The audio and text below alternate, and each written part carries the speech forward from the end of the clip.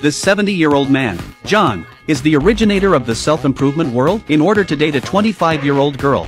Julie, he gave himself a facelift. He succeeded in capturing the girl's heart. They ate ice cream together sweetly, running together on the beach. Hand in hand, almost broke John's old back. They ate popcorn together and watched a puppet show. John blushes. Julie's dog seemed interested in John's curly hair. John gave her a vintage car that he had been saving for years. The two seemed to fall in love. John drove the antique car with the girl on the road covered with flowers. The air was filled with the scent of romance. Dandelions fluttered like snowflakes in the wind. The scent of pollen. Julie happens to be allergic to pollen. It made her nose itchy. John tried to give Julie a tissue. The tissue accidentally slipped. Julie sneezed violently. Accident happened.